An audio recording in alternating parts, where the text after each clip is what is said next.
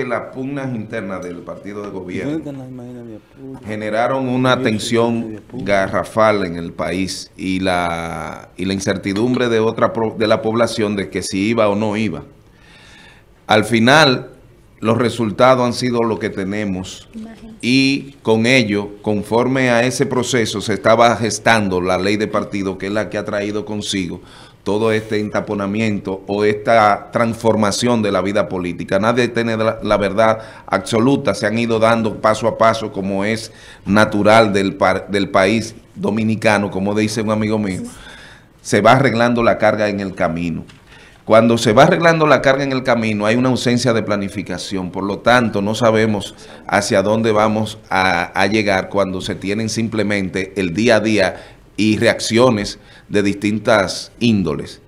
Pero de que sí el país tiene hoy día una oportunidad de transformar y de dejar atrás prácticas viejas, parece ser que la política tradicional no quiere alejarse de esas mismas prácticas a diferencia de otros, hoy tenemos ya un país que está visualizando lo que nunca nadie se pensó, Leonel Fernández haciendo tienda aparte, con una nueva visión, con una nueva estructura y con una gran cantidad de partidos que le acompañarán en este proceso de la casa, como él dice, una casa grande que o un partido que empezó grande. A mi pregunta a Tony cuando le decía, porque ellos tienen la temática y ya vimos lo que eh, entienden, yo le preguntaba que si es insignificante la salida de Leonel Fernández del partido y él reconoce que es un activo importante que ha salido. Mira, cuando Francis se refiere a una nueva visión, me resulta me gustaría que pues que desagreguemos, que podamos... Que la detallemos. Eh, sí, que la detallemos. Necesitaríamos mucho Porque, no, no, pero podemos hacerlo, porque ¿cuál sería la nueva visión del, presidente, del expresidente Fernández eh, más allá de buscar eh, ser el candidato presidencial por el PTD? ¿Cuáles serían las nuevas propuestas o de reformación del escenario político o del Estado de nuestro país Ciertamente no lo hemos visto referirse en ese sentido. el problema, perdón, perdón, perdón, perdón. El problema es, el tema central es la situación política de la República Dominicana. La situación política de la República Dominicana no es Leonel Fernández, Dios mío.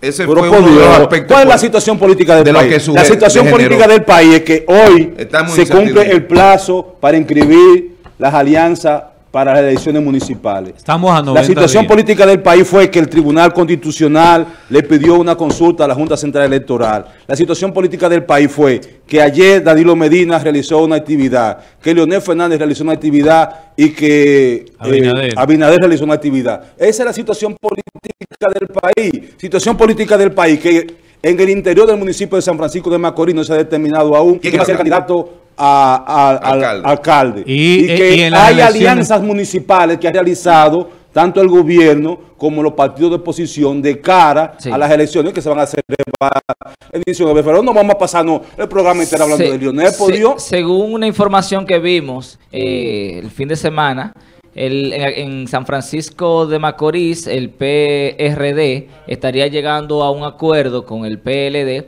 para llevar eh, dos regidores del PRD. No, no, pero no fue aquí en San Francisco, eso se vendió a nivel nacional. Sí, pero estoy hablando específicamente de San Francisco de ah, Macorís, que es donde manejo la, la, la, fuente. Eh, y posiblemente... PRD Jorge, con PLD, tú no, PRD, eh, PRD y PLD. Ah, en este caso, el PRD llevaría como vicealcalde a Jorge Peña.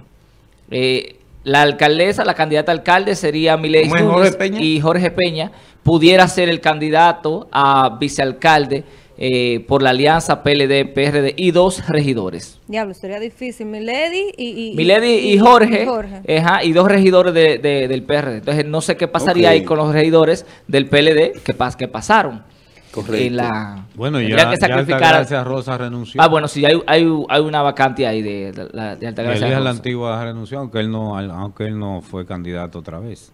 Pero, óigame, para el 20, en las presidenciales, tenemos dos, dos activos que nunca han sido presidentes. Aló, buenas, buenos días. Buenos días. Buen día. Aló. Hoy amanecieron, tira piedra a ustedes. Ay, a mí me encanta cuando ustedes amanecen así. Gracias. Pero hay una cosa que Tony se le olvida. Y es que, y es que, como dice Francis, Leonel Fernández es como un papá de esa familia. Y usted no puede ser mal agradecido. Yo conocí a Leonel Fernández donde mi tía, donde tía Tete. Una vez que venía a dar clase aquí, y él era muy amigo de Vinicio Tobar, mi primo. Sí. Y yo entiendo que, inclusive, le estoy hablando historia patria, ¿eh? yo, yo soy de ahí del Capacito. Y yo entiendo que si ya usted no participa políticamente, como Amado José Rosa, por ejemplo, que nos criamos juntos ahí en, en, el Capacito, en el Solar. Yo conozco a Amado Rosa y todo el tiempo yo conocí a Amado Rosa como, un, como una persona respetuosa.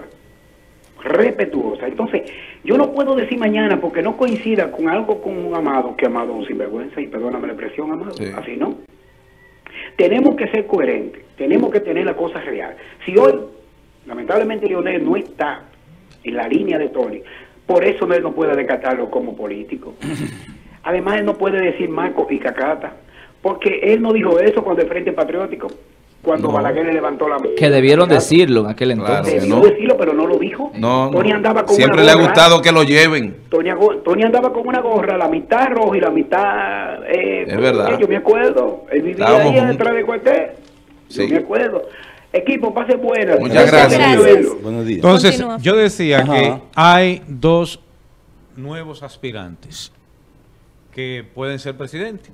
Gonzalo, ¿verdad? Por el PLD y la, y la, y la unión que ellos tienen. Y está Luis Abinader. Ajá. Ay, por, la, por, la, fuerza. Es que no tiene posibilidad de ser presidente, es posibilidad de ser presidente. Ah, ok. Y Leonel, si, si, si le dejan pasar. Pero ya ha sido presidente. Correcto. Entonces, ambas cosas, todo eso, debe darse bajo el marco del acuerdo de cómo se van a contar los votos y también sobre qué método de votación, que todavía no está definido, están en discusión. Se ha planteado sobre la mesa que sea llamada automatizado. Buenas. Buenas. Adelante. Sí, buenas. Buenas, buen día para todos. Buen, día, buen día. Bendición. Buenos días. Bendición quiero preguntarle a Yaya esa, esa eh, eh, unión que él mencionó, esa, si no son esos Marco y Cacata. ¿Cuál, cuál? La que tú dijiste del PLD y el PRD y el PR. Ese sí es un Marco y Cacata. Nadie ha dicho lo eh, contrario, yo no he dicho que no. Que esos no son Marco y Cacata. Todo lo que se ha dado en la República Ama, Dominicana. Amable Aristi Castro. De 90... Tuvieron en el PLD entonces cuando sí. esos no eran Marcos. Sí, es verdad. Eran cacata. Sí, entonces todo eso es cierto. Gracias por su llamada, doña. Un paréntesis ahí, porque tú le hacías la pregunta, Tony, que qué eran eh, la unión del PLD, PGM. No, no, no, yo no hice esa pregunta. Se pregunta, pregunta cómoda no, que te yo, viene a, a lo que a lo que yo no hice yo no hice preparado lo que le caen bien. continúa Fulvio que, que tiene un mensaje eh, pero estoy de acuerdo con ella eh, la política dominicana siempre ha sido eh, de, de, 96 para acá específicamente entonces es indispensable determinar el método de votación y también el sistema de conteo. ¿a qué tú te refieres con el método de votación? lo que se está lo que se está discutiendo automatizado y que se cuente el 100% de la boleta o que no se use la parte automatizada y que sea manual. Todo eso se está discutiendo. Claro, eso es parte de, de, de, la situación política. Eso es parte de la situación política. Entonces, la otra parte es los plazos fatales. Sí. Plazos fatales. Ya hoy, hoy se vence, se vence el plazo de, de, las alianzas. Municipales. Más cinco días de prórroga para hacer algunos arreglos que tiene la Junta 19, Central Electoral. Y todos esos casos que se van dando, indiscutiblemente, gravitan también, muchas de ellas, en la posibilidad de que Leonel entre a escenario o no entre. Claro. ¿Por qué? Porque la alianza pueden estar eh, eh, sujeta.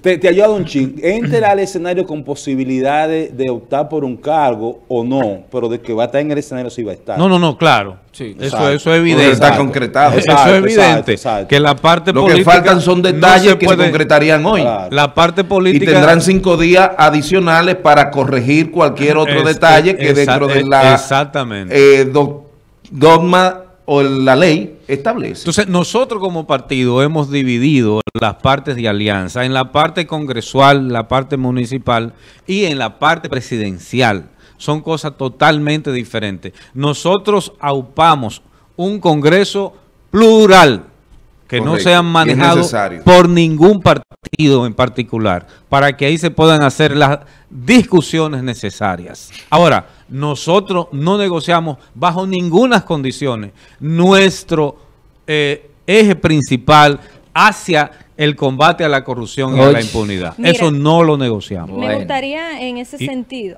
termina. No, no, ya. Ok. En ese sentido, a donde hacía el comentario hace un momento, eh, estamos hablando de la situación política de la República Dominicana. Esto no escapa de quienes sean eh, o quienes son los candidatos presidenciales y cuál será el ejercicio de cada uno de ellos de ser electo. Tenemos a un Luis Abinader, donde Fulvio siempre acá ha citado, y de hecho Luis Abinader se entiende que debió de hacer unas aclaraciones en el fin de semana por la posición eh, inoportuna, desatinada, en lo que tiene que ver a lo interno del PRM. Esto indiscutiblemente les afecta. Y la posición que ella asume en torno a estas alianzas que serían de alguna forma cuestionables, por más que el PRM diga que no es negociable esto y aquello, te está saliendo a un grupo de gente que pueda, que posiblemente tengan una reputación dudosa y que no es tan sencillo tú poder atacarlos en un plano legal con el tema de la corrupción en República Dominicana, que es el que más nos afecta. Tenemos por un lado a este candidato Luis Abinader y sus alianzas. Tenemos a un Leonel Fernández que nos ha gobernado y ahí era que dirigía el comentario cuando decía, bueno, con una nueva visión, ¿qué va a reformar Leonel Fernández? ¿Qué ha dicho al país? Y en ese sentido, cuando Francis tenga la oportunidad, puedes decir ¿Qué ha dicho o cuál ha sido el accionar del, del expresidente Fernández para nosotros entender que él podría ser un presidente que cambiaría de alguna forma el rumbo de nuestro país y que se redimiera con la República Dominicana? Por otro lado, tenemos a un Gonzalo Castillo que sabemos ya, eh, no quisiera eh, detallar las condiciones precarias que tiene como candidato presidencial. Tenemos estos tres panoramas de los tres potables presidentes, de ser eh, posible que Leonel vaya o no. ¿Qué tendríamos nosotros en el tema de la gobernabilidad en República Dominicana con un Gonzalo Castillo, el, penco, que ahí creo que resume todo eh, lo que entendemos de él como perfil de candidato? Míralo ahí. Mira, mira, mira. Tenemos a Leonel Fernández, que ha sido tres veces presidente, y tenemos a un Luis Abinader que está buscando formar, eh, o, que ha formado alianzas con personas que se supone, sí, un, gran, frente, pero o sea, ¿qué conlleva ese frente? Bueno, la oposición. O sea, ¿quiénes están en ese frente? La oposición se está reuniendo en torno al Partido Revolucionario Moderno. Y eso es lo que se ha planteado con unas alianzas parciales, porque son propositivas. Ahora mismo lo que nos ocupa es la parte de lo municipal, que ya desde hoy se puede contar 90 días, que son las elecciones del, de febrero 20. Entonces, con esto marca un hito, una nueva etapa de la vida nacional que a vez trae consigo un ingrediente. Tradicionalmente el voto municipal votado al alcalde arrastraba, de acuerdo a su cantidad y una proporcionabilidad compartida entre los partidos participantes, arrastraba al regidor. Por eso es que el alcalde que ganaba en su mayor proporción que cuando en el 96, en el 2006, fuimos nueve eh, a la alcaldía, es decir, a la sala capitular de lo que íbamos en la boleta. Ya en el segundo periodo, en el 10, alcanzamos la mayoría, que eran siete. Me refiero a lo presidencial. Ocho, perdón. Entonces, no, no, me estoy refiriendo que lo que el contexto marca de la nueva etapa de la vida política es que hay un cambio y los regidores van a ser electos por voto directo. Entonces, voto preferencial, preferencial donde cada regidor será votado a él. Todo ese conglomerado genera una realidad distinta a la vida nacional de un año hacia atrás. Pero de ese año hacia acá lo que tuvimos es, ha sido un proceso de discusión y agitación. Eso simplemente lo que va a implicar una forma diferente de elección, eso no va a cambiar nada. bueno, los actores son candidatos presidenciales y qué significa esto a las elecciones del 2020 a eso. La, la parte tuya con respecto a tu interrogante, nadie regatea que como estadista Leonel Fernández demostró tener prudencia en el manejo de lo público y se interesó mucho en la institucionalidad.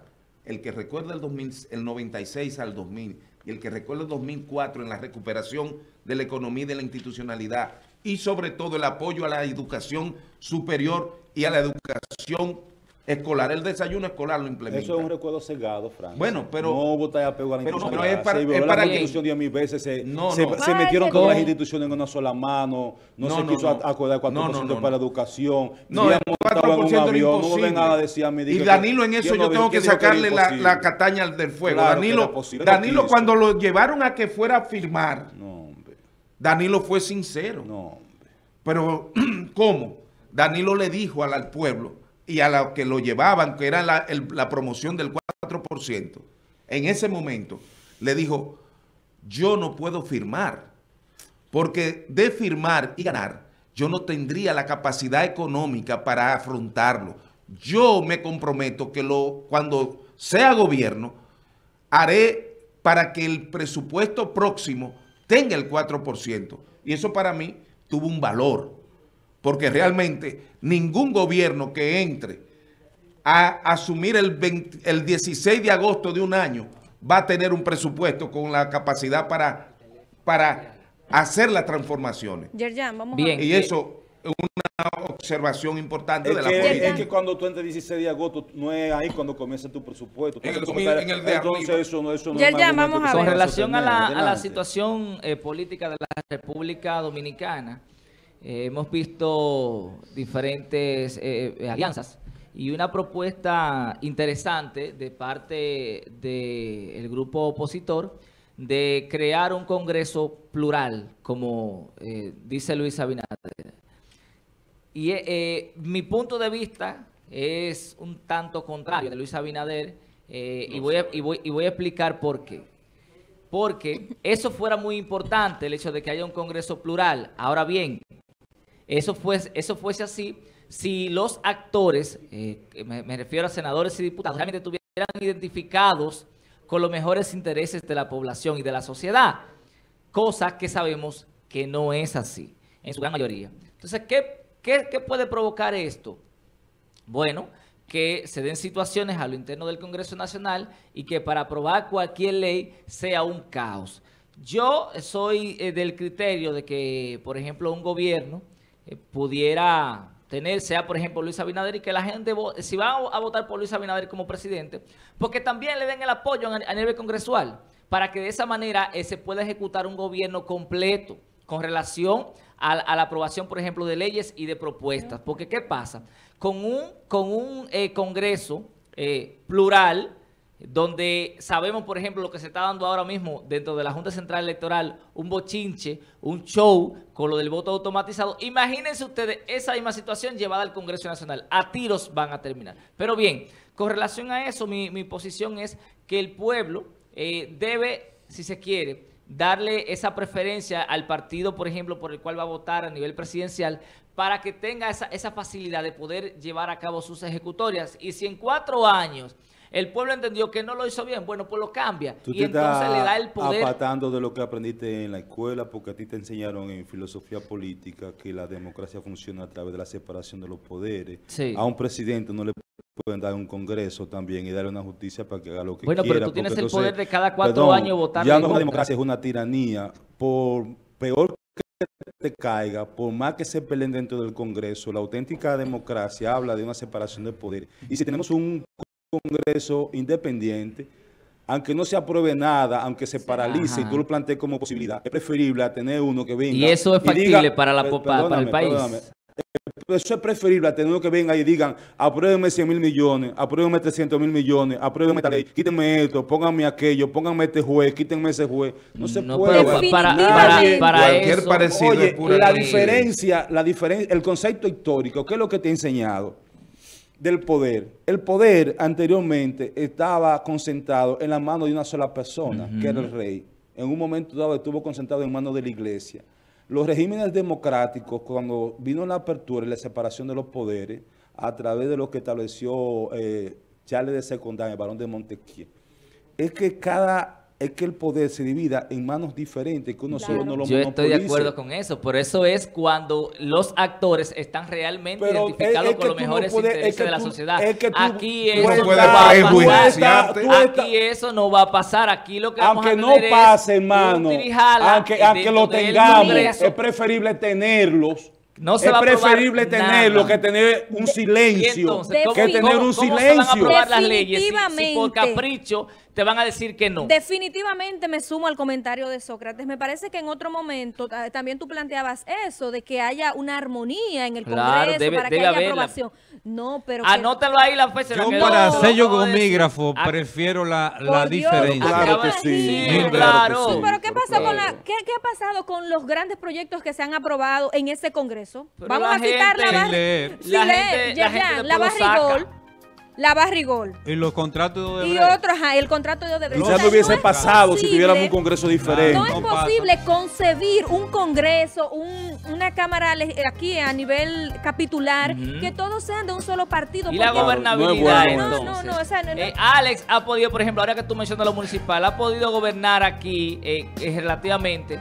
¿Tú sabes por qué? Es porque ha tenido la mayoría dentro de, dentro de ese ayuntamiento. Si no fuera así, no, no hubiese podido probar nada ahí. Porque aunque sea para, para, hacerle el tollo y para mantener eh, eh, eh, el desorden dentro de, un cabildo, no le aprobaran los proyectos. Bueno, pero que se desarrollen entonces los congresistas dentro de ese concepto, porque la democracia lo que implica es que cada uno cumpla con su responsabilidad. Claro. Y cuando te hablan de un... Escúchame, no, no, no, escúchame.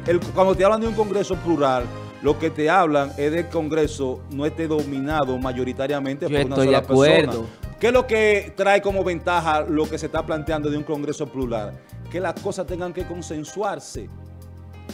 Lo que se plantea solamente como que cada uno va a coger Como se está consensuando el voto automatizado, que ellos son minoría, son minoría y quieren... Correctamente, pero esa, es la ventaja que tiene, hay que consensuarlo. Hay que consensuarlo. Entonces, si no tiene sentido... Hay que consensuarlo. Si, los legisladores son todos de un mismo partido, vamos a decirlo, con una sola visión, de, vamos a eliminar los partidos. O mayoritaria mecánica, como pasa ahora, que vienen y te aprueban lo que quieren de forma mecánica. Si en cuatro años no lo hicieron bien, para afuera. Muy bien. Y ponen otro. Vamos nosotros en este momento a escuchar a Francis Rodríguez eh, y escuchar los planteamientos no vamos con cosas primero de, de, de, de, ¿cómo se llama? De WhatsApp. ¿Qué es que vamos con WhatsApp? No, vamos a escuchar a WhatsApp, Vamos al tema de Francis. Ah, bueno. Eh, en estos momentos, el licenciado Francis Rodríguez, según el, el, el, guion que tenemos aquí, le toca eh, iluminarnos con uno de sus análisis. Adelante, Francis. Gracias, eh, Sócrates y amables televidentes. Nunca será suficiente el debatir y encontrar razón en, la individualidad.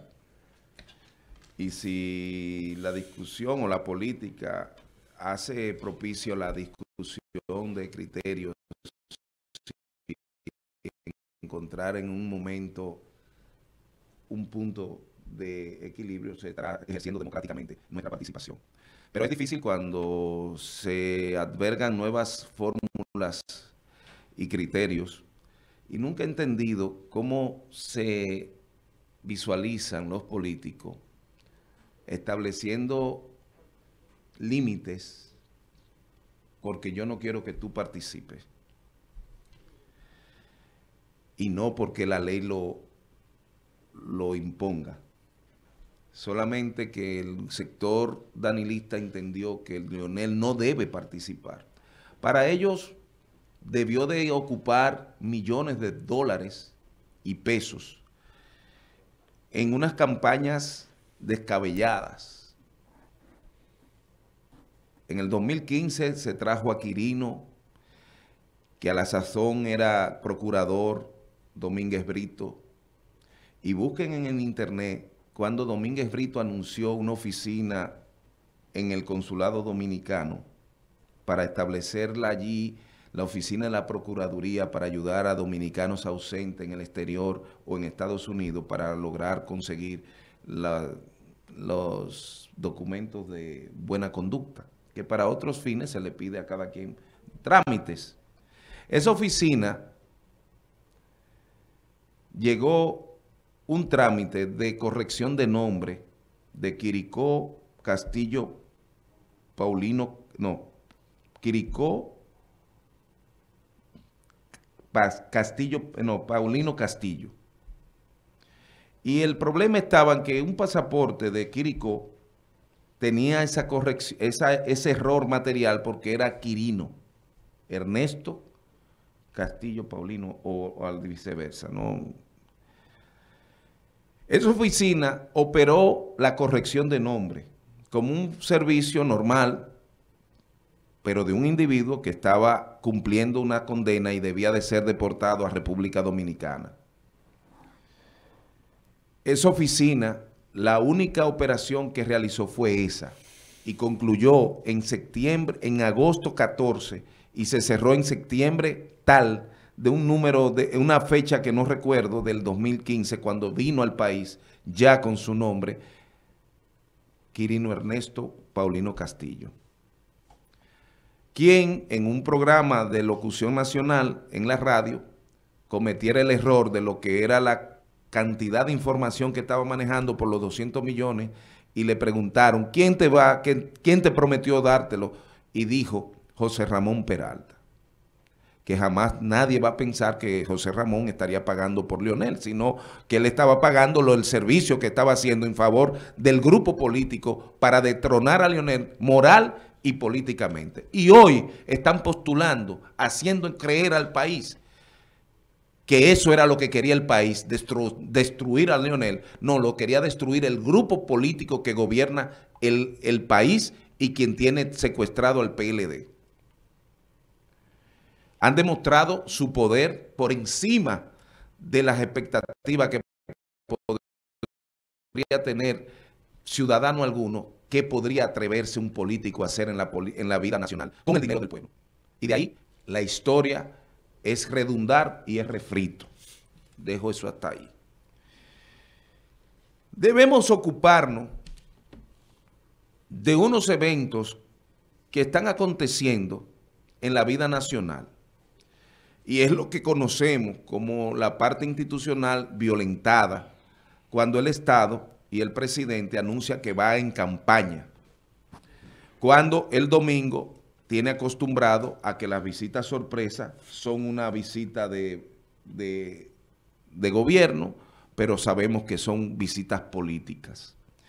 Que como decía Sócrates, ha sido eh, anacrónico, recurrente y falto de toda calidad institucional.